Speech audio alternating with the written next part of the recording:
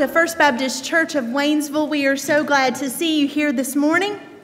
I am Christi Hollifield. I'm one of the pastors here, and we welcome you all to service this morning.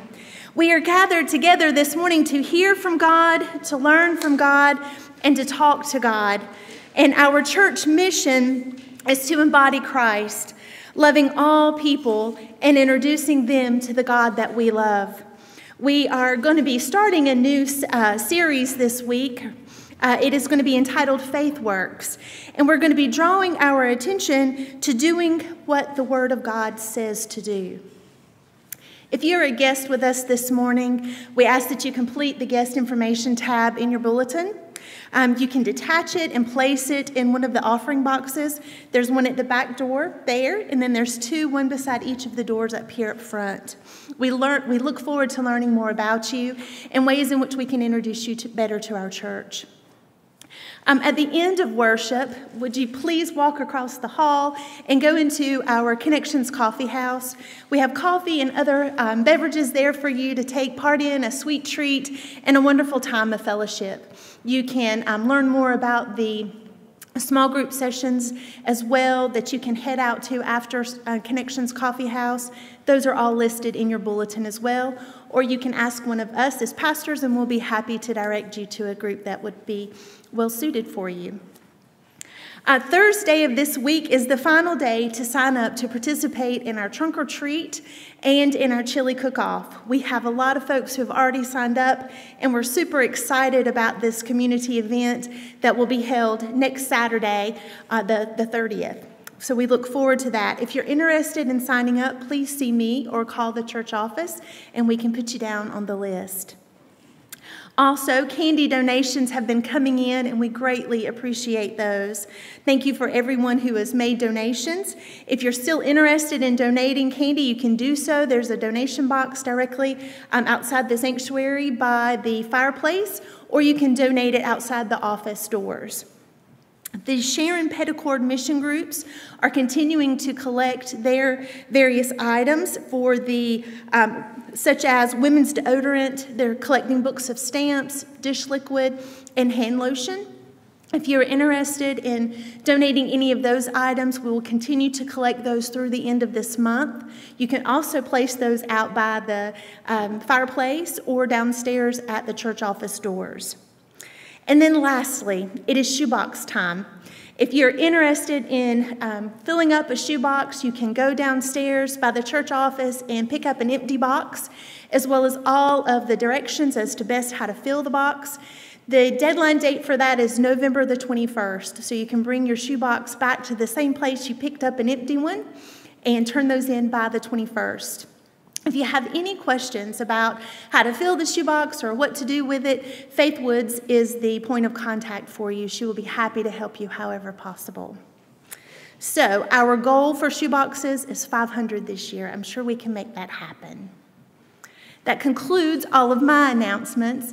Now, let us join together in prayer as we prepare for our morning worship. Please pray with me. Heavenly Father, our hearts sing for joy, with joy for this day you have gifted us. This is the day that you have made, our Lord has made for us. Let us rejoice and be glad in it.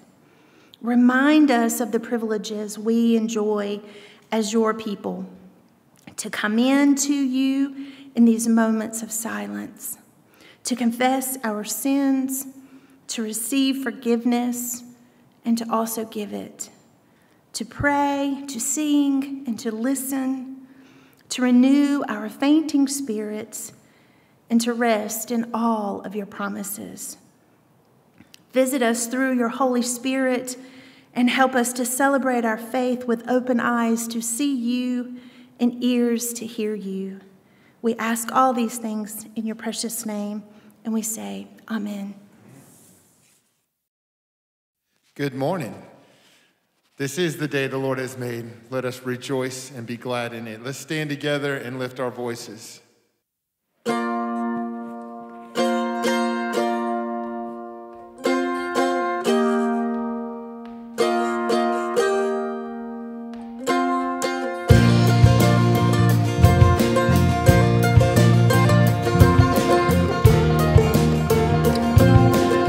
Let's sing together.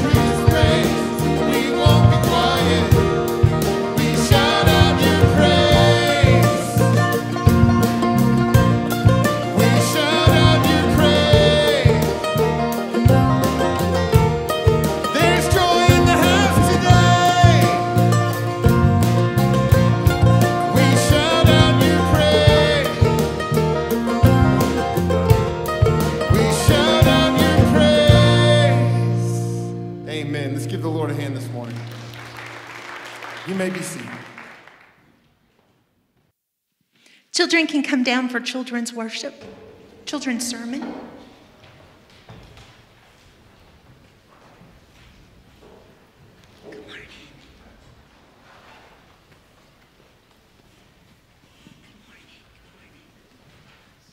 Good morning. Friends. I'm so glad to see you this morning.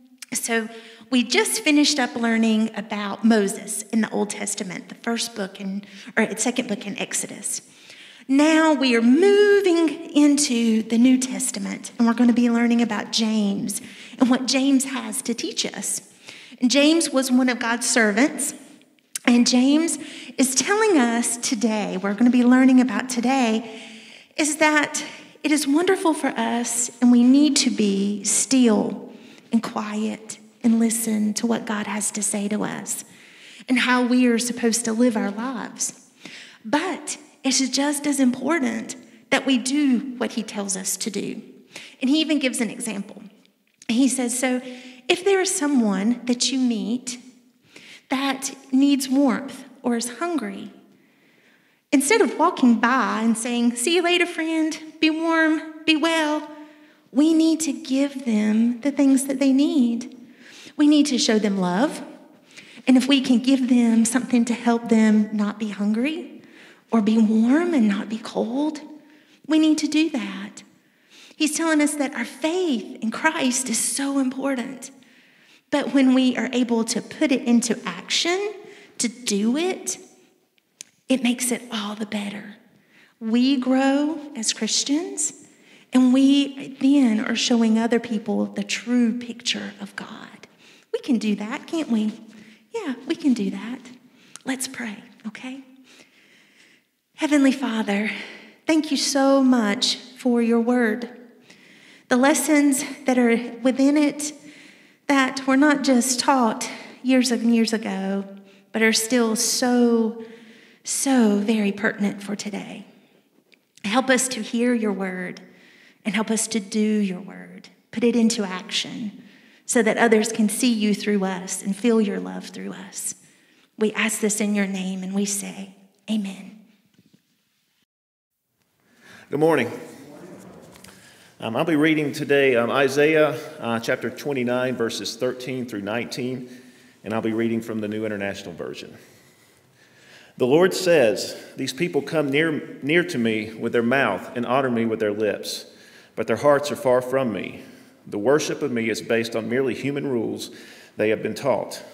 Therefore, once more I will astound these people with wonder upon wonder. The wisdom of the wise will perish the intelligent of the intelligence of the intelligent will vanish. Woe to those who go to great depths to hide their plans from the Lord, who do their work in darkness and think, Who sees us? Who will know? You turn things upside down, as if the potter were thought to be like the clay. Shall what is formed say to the one who formed it, You did not make me? Can the pot say to the potter, You know nothing? In a very short time will not Lebanon be turned into a fertile field? and the fertile fields seem like a forest. And that day, the deaf will hear the words of the scroll, and out of the gloom and darkness, the eyes of the blind will see. Once more, the humble will, will rejoice in the Lord, the needy will rejoice in the Holy One of Israel. Let us pray. Father, we come to you today in worship and give thanks for your word and for the guidance it provides to us. Help us to use this scripture to anchor ourselves to you and to not stray from the path you have placed before us. As we continue to worship you today, I pray that you'll open our hearts to your spirit and that we'll continue to carry this connection with us beyond these walls, out into our community, and into our daily lives. Thank you for the many blessings that you provide to us each day and for your continuous grace and love. We ask these things in your Son, Jesus' name. Amen. You know, it's not hard to look around and see how things seem like they get worse and worse every day out in the community, out in our country, out in our world. And we can either be bystanders on the sideline or we can actually get involved and do something. And that's kind of what this song's about. So I hope you enjoy it this morning.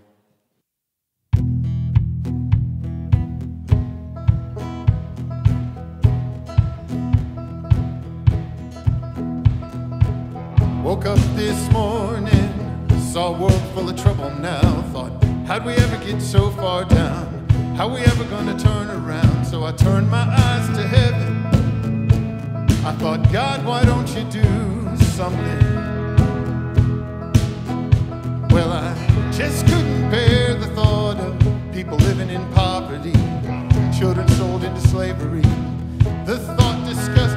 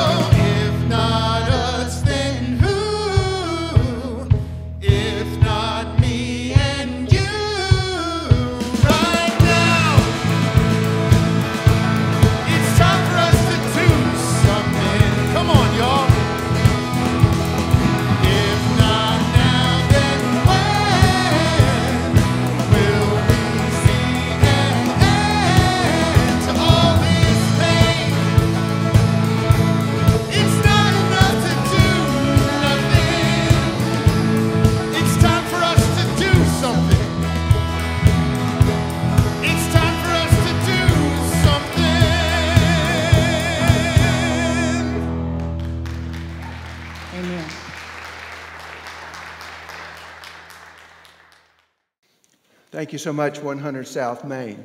As we come to worship the Lord in the Word, let's pray together. Father, thank you for this day, and thank you for this glorious season of fall, this time of change. And God, we pray that you would be with us as we gather on this beautiful day, that we would focus on you. There's so many things that would distract us, so many different concerns and problems and issues. But God, we pray that we would focus on you and you alone and hear what you have to say to us this morning. In Christ's name we pray. Amen. Please take your Bible and turn with me to the book of James, chapter 1. And our text today will come from James chapter 1, verses 19 to 25, and then chapter 2, verses 14 to 26. There it's written My dear brothers and sisters, take note of this. Everyone should be quick to listen, slow to speak, and slow to become angry, because human anger does not produce the righteousness that God desires. Therefore, get rid of all moral filth and the evil that is so prevalent, and humbly accept the word planted in you, which can save you. Do not merely listen to the word and so deceive yourselves. Do what it says. Anyone who listens to the word but does not do what it says is like someone who looks at his face in a mirror and after looking at himself goes away and immediately forgets what he looks like. But whoever looks intently into the perfect law that gives freedom and continues in it, not forgetting what they have heard, but doing it, they will be blessed in what they do. And then skipping down to chapter 2, verse 14. What good is it, my brothers and sisters, if someone claims to have faith but has no deeds? Can such faith save him? Suppose a brother or a sister is without clothes and daily food. If one of you says to them, Go in peace, keep warm and well fed, but does nothing about their physical needs, what good is it? In the same way, faith by itself, it is, if it is not accompanied by action, is dead. But someone will say, You have faith, I have deeds. Show me your faith without deeds, and I will show you my faith by my deeds. You believe that there is one God? Good. Even the demons believe that and shudder. You foolish person, do you want evidence that faith without deeds is useless? Was not our father Abraham considered righteous for what he did when he offered his son Isaac on the altar? You see that his faith and his actions were working together, and his faith was made complete by what he did. And the scripture was fulfilled that says, Abraham believed God, and it was credited to him as righteousness. And he was called God's friend. You see that a person is considered righteous by what they do and not by faith alone. In the same way, was not even Rahab the prostitute considered righteous for what she did when she gave lodging to the spies and sent them off in a different direction? As the body without the spirit is dead, so faith without deeds is dead. Today we're starting a new worship unit titled Faith Works, and it's, it's based on the book of James. A very important book, uh, as all books are in the New Testament, but one that's especially important and impactful, I feel. And it, it's a book really that was very formative for me during my teen and college years and throughout my, my ministry because it has a lot of important things to say. And in this unit, we're going to see that, that true faith, a true, vital, living faith inside of us, results in acts of good towards other people. It, res, it, it, results not just in good deeds, but in, in good for people, in serving them and helping them and healing them. We're going to see in a few moments that the book of James is controversial, and we'll see why in a few moments. Historically controversial, maybe even a little controversial today.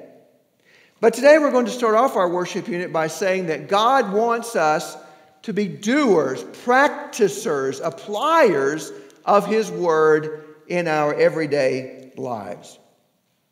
The book of James is a general epistle. The word epistle merely means letter. So it's a general epistle in that it's not addressed to a specific church, like Romans is addressed to the church at Rome and Ephesians, the church of Ephesus. It's a general letter that's meant for a number of different churches. In the first verse, it says it's addressed to the 12 tribes of Israel in their dispersion. Now, we know that the book was not addressed only to Jews. In fact, he's probably using that expression to refer to, to the church as the new Israel. The Jews refer to Jews uh, scattered across the world as the diaspora. So James is addressing not just Jews, but he's addressing all Christ followers across the world. But he is specifically targeting Jews within those churches because he uses a lot of references and ideas that Gentiles probably wouldn't have been familiar with. So he's focusing on the Jews within those churches. The author of the book identifies him uh, identifies himself very simply as James, a servant of God and of the Lord Jesus Christ. Now, they say the more famous you are, the shorter your introduction. You know, if, they, if you get a long introduction, it means you're not very famous.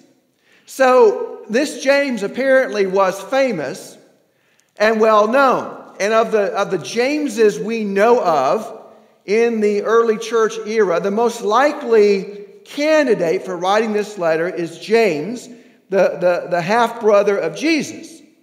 James grew up not believing in Jesus. In fact, uh, the Gospels say that, that Jesus' brothers gathered against him to try to get him to go home. So James didn't start off believing in Jesus, but he became a follower of Christ and, and got the very influential position of being the head of the church at Jerusalem. So, this most likely is the James. That means he was a Jew, and so he could address Jewish audiences especially well. The book of James has a great affinity with another of my favorite books, and that's the book of Proverbs. And I think that both James and Proverbs are concerned with ethics. Ethics, Christian ethics in, in particular, is taking the word and applying it to everyday life. How do you take your theology, your view of God, and bring it to your family, to your work, to your community? How do you do that? And those are questions of ethics. How do you put the word into practice every day in practical ways? As I said, James has a controversial history. The great reformer, Martin Luther, called it an epistle of straw.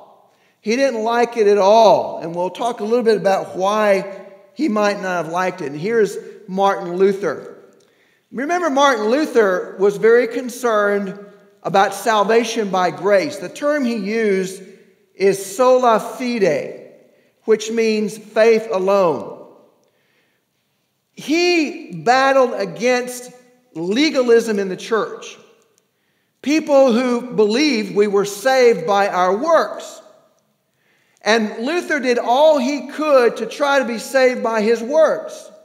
He nearly wrecked his health doing it. And finally, while reading the book of Romans, he came to this insight that we're not saved by our works, but we're saved by God's grace through faith. That's how we become right with God.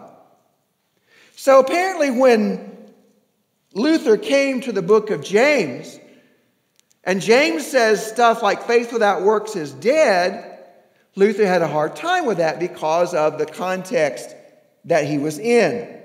So we're going to talk about that, and, and I believe we're going to see that, that in reality, Luther, that, that in reality, James and Luther are talking about two sides of the same coin. They're not two different things, but two different ways of looking at salvation.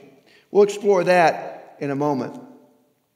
James apparently was addressing the church during the time of, of, of persecution. There were a number of persecutions in the early church. And so, in the first part of the letter, in chapter 1, verses 2 and following, James talks about persevering during persecution, during trial. He says you should be faithful to God even in trial and difficulty, because in that you mature, you become complete, you grow in your faith. By faith, facing persecution in faith, you grow to be stronger in the Lord. So James admonished Christ followers across the world to remain faithful even in the, in the midst of persecution and great trial. And then we come to the of to the heart of, of our text as he comes to chapter 1, verses 19 to 21, as James calls us to do the opposite of what we normally do. He says there, he says, My dear brothers and sisters, be, be quick to listen, slow to speak, and slow to become angry. Again, the opposite we're usually slow to listen, quick to speak, and quick to become angry. So James immediately starts cutting against our grain as he calls for a behavior that, that we don't naturally do. He says, Behave in this way because human anger does not produce the righteousness God desires. Hear that again. Human anger does not produce the righteousness God desires. Anger is natural and normal. We all get angry at times. Some of us have hotter tempers than others, but we all deal with anger. I don't think James is saying to repress your anger or to ignore your anger. You should deal with your anger. You should deal with it under God. But know that in the end, your anger does not produce the righteousness God is looking for. These days, it seems that anger is off the scale in our country. We see anger everywhere, people furious about different things. In some parts of our country, school board members are looking at hiring security to, to watch after them because of all the anger and death threats aimed at them over things like wearing masks and teaching about race.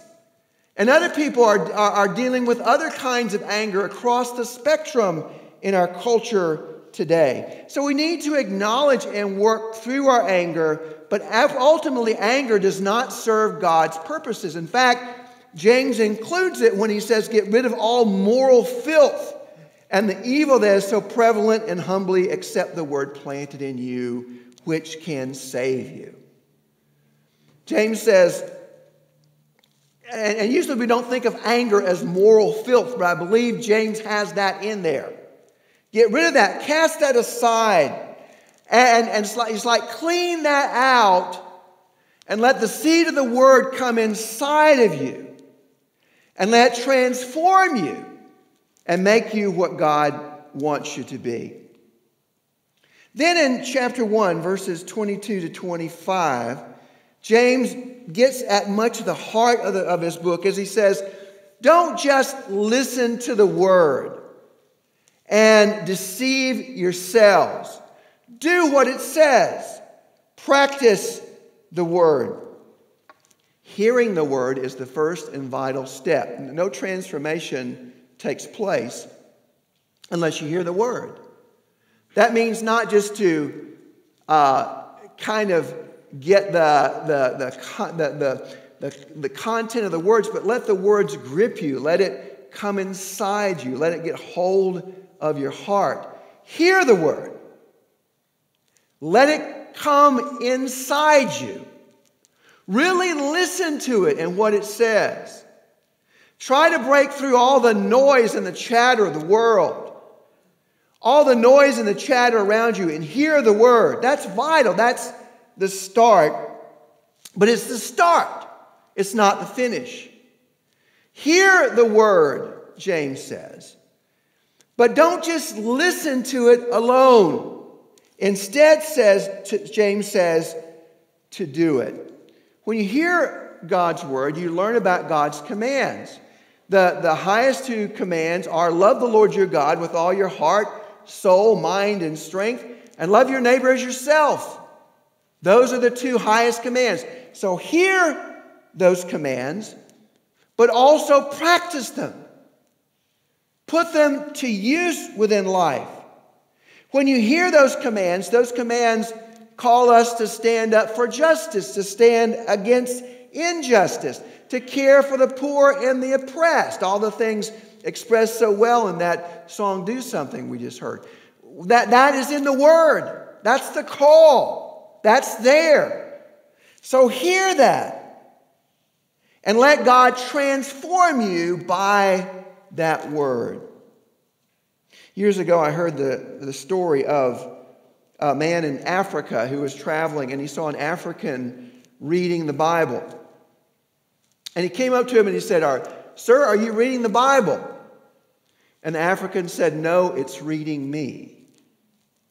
And I think that relates well to the illustration that James uses here when he says, Anyone who listens to the word but doesn't do what it says is like a person who stands in front of a mirror and then ignores what he sees, goes on his business. It's like you stand in front of a mirror and you see a smudge on your face, or you see dirt on your clothes, or maybe you see a, a nasty mark on your hand that could be a skin cancer or something, and, and, you, and you ignore all that. You just walk away.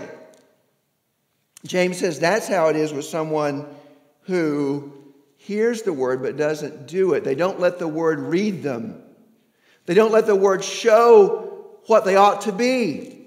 Instead, they walk off, they ignore it, they don't apply it. so in verse 25, he says that whoever looks intently into the perfect law that gives freedom and continues in it, not forgetting what they've heard, but doing it, they will be blessed in what they do.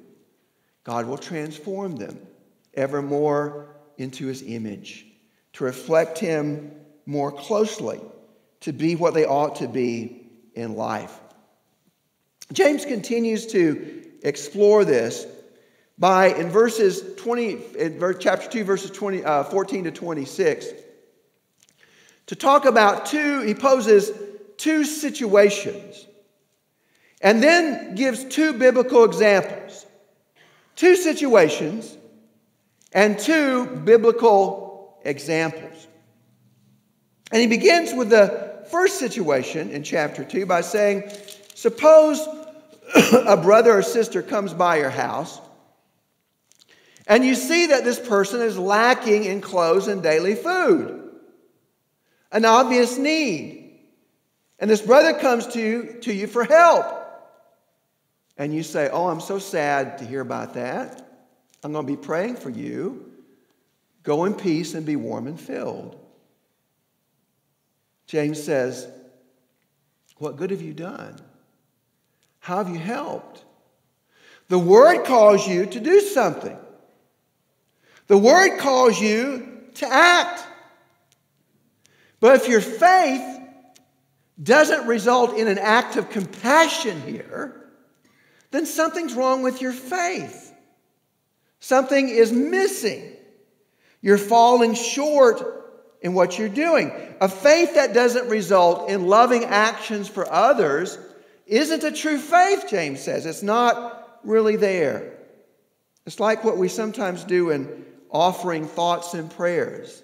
You know, uh, and many, sometimes that's sincere, sincere for us, but I'm here to tell you many in the world are, are sick and tired of our thoughts and prayers not accompanied by action, not accompanied by, by, by loving actions towards other people. It's easy to say, I'm praying for you. It's hard to actually do something for somebody. And that's what the word calls us to do. I'm a great believer in prayer. I believe strongly in prayer. We pray all the time around here. But at the same time, I'm a great believer that God wants to use us to answer prayer.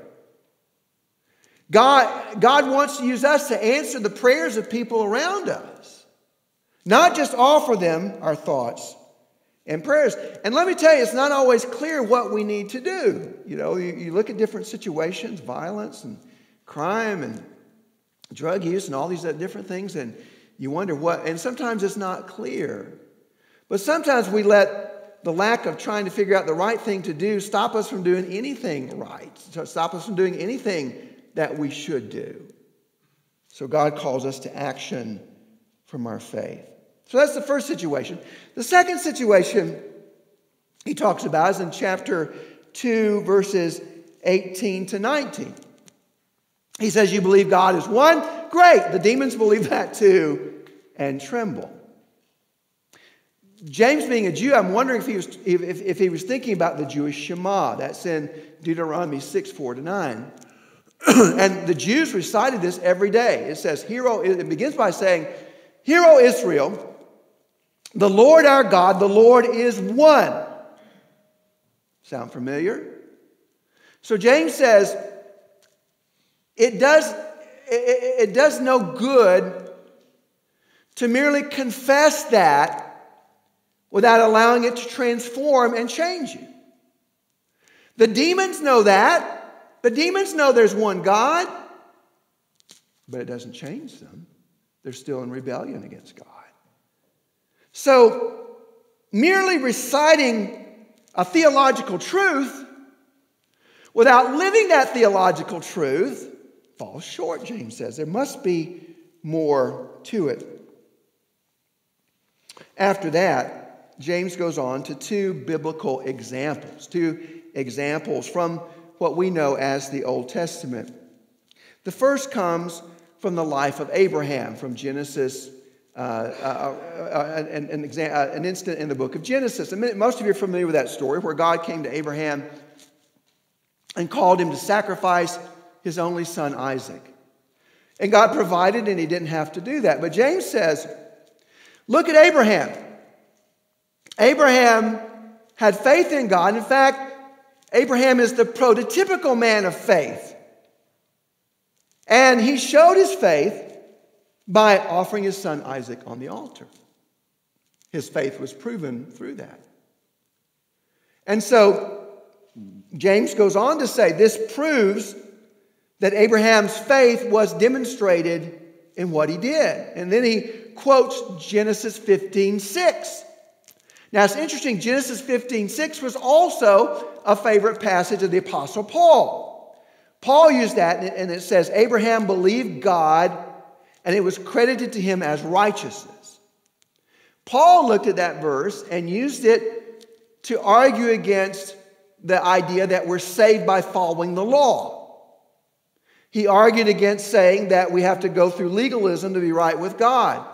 He said the law hadn't even been given yet, yet the scriptures said, say that Abraham was made declared righteous because of his faith. Now it's interesting, James looks at the same scripture and draws a little bit different lesson. As he says, Abraham did believe God, and it was credited to, credited to him as righteousness because he acted on his faith. Because the vitality of his faith led him to obey God. So his faith bore fruit in his life. It was not a mere empty confession.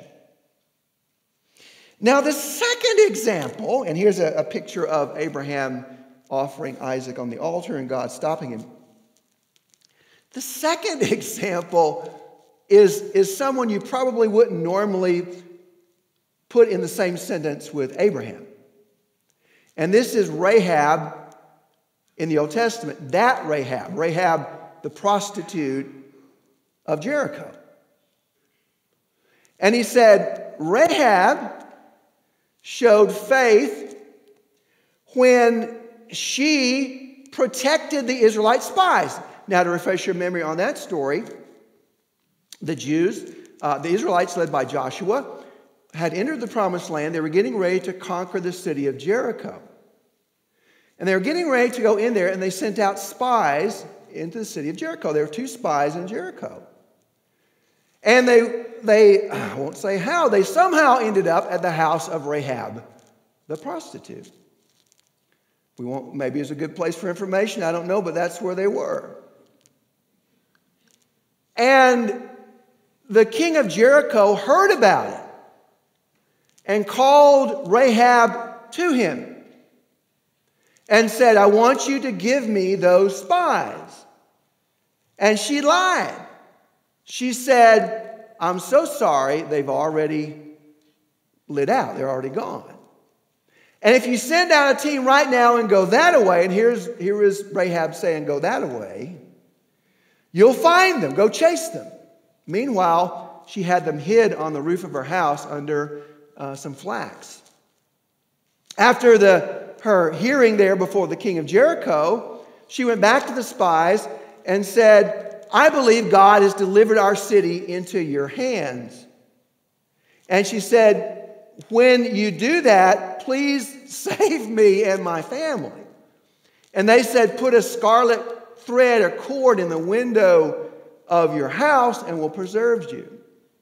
And so then Rahab lowers them out a window, her, her house was against the city wall, lowers them out a window down the ground to get away. And sure enough, later on, when the Israelites conquer the city of Jericho, they see the scarlet cord and spare Rahab.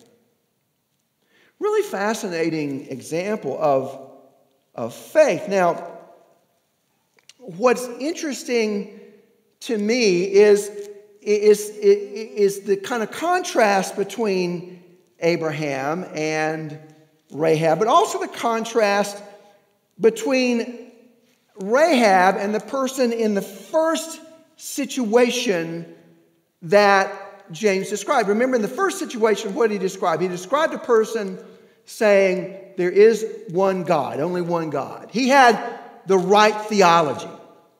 He had the right theology. There is one God. But his lack of action showed that that faith meant nothing. Rahab, at best, had a messed up theology. She probably may not have even believed in one God. She believed that the God of Israel was going to going to hand Jericho over. But I don't know that she, I don't know that she was theologically right, and her chosen profession does draw questions as about her theology. She had a broken theology, but she did the right thing. Situation one, man has the right theology but does nothing, does the wrong thing. Rahab has a messed up theology and does the right thing. So, a true faith results in right actions. Right theology and right actions are important. And believe you me, I'm a stickler for right theology. I believe everybody should have the right theology. I believe everybody should believe the right things about God and have definite beliefs about what those are. And there are many Christians across the church who feel the same way. That's important that we have the exact right theology, that we dot every I and cross every T theologically. And if you don't dot every I and cross every T the way I do, you may not be a Christ follower and you might even be going to hell because you don't have the right theology. But when I look at the scriptures and I particularly look at Jesus' life and teachings, it seems to me that he was more worried about right actions than he was exactly right theology. A good example of this is the parable of the Good Samaritan. You familiar with that story? What happens in that story? A man is beaten, naked, left dead by the road. Two people with the right theology walk by a priest and a Levite. Two people with the right theology walk by, and what do they do? Nothing. And then a Samaritan comes by, a third person, with a messed up theology. And what does he do? He stops and helps. And remember the, the, the whole question at, at, at, at, at, at, at, the argument that Jesus was telling this uh, story was who gets in the kingdom of God? Who's in the kingdom of God and who isn't? Who loves their neighbor as themselves and who loves God? And in the story, who is that person? It's the Good Samaritan with the messed up theology. Now, again, I'm not saying having a messed up theology is a good thing, it's, it's not a good thing. But when you think about what God values, what God looks at, He's more concerned in actions that result in love and care for others, even if your theology may not be exactly right, doing the right thing. So then in James, in two, in two verses parallel each other, verses 24 and 26. Take a quick look at those. Verse 24, after talking about Abraham, James says, You see that a person is considered righteous by what they do and not by faith alone. Now, that had to make Luther come unglued when he read that. Totally unglued. Because sola fide. How do you reconcile that? Well, I think James makes a bit clearer in verse 26 as he says, As the body without the spirit is dead, so faith without deeds is dead. Yes, we're saved by faith through God's grace. But if that's really there, it's going to bear some fruit.